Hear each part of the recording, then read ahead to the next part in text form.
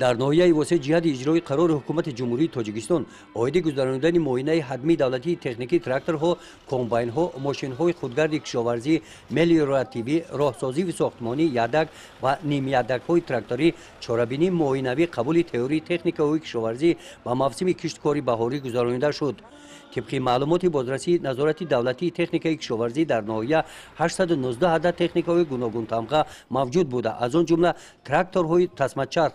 60 адад тракторҳои нармкунанда 149 адад нақлиётӣ 603 адад мавҷуд мебошанд. Мувофиқи маълумотҳо 84 адад комбайнҳои ғаладарав 82 адад тухми пошакҳои пахтакорӣ 11 адад ғалакорӣ 144 адад ядакҳои тракторӣ ва 34 адад дигар мошинолотҳо ба мавсими кишти кори баҳорӣ омода ҳастанд комиссияи салоҳиятнок баробарии ҷонишини раиси вилояти хатлон намояндагони раёсати кишоварзии минтақаи кӯлоб бо ҳолати техникаҳои кишоварзӣ шинос гардиданд.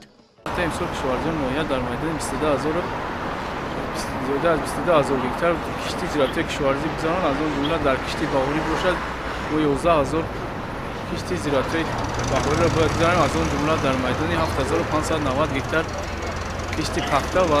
дигар зироатҳои кишоварзиро мегузаронем баъди шиносоӣ бо ҳолати техникаҳои кишоварзӣ бо иштироки механизаторон раиси ноҳияи восеъ иттилоъ доданд ки имсол дар ноҳия дар майдони 11810 гектар кишти зироатҳои баҳорӣ банақша гирифта шудааст ки аз он 7590 гектарашро кишти пахта ташкил медиҳанд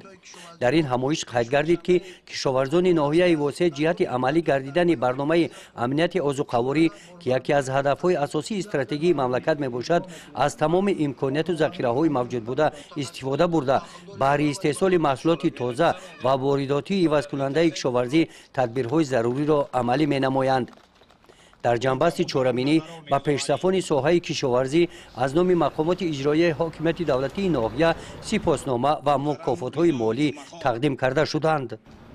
Гузориши хоҷа назриев худойназар зуҳуров аз ноҳияи восеъ барои барномаи иттилоотии навид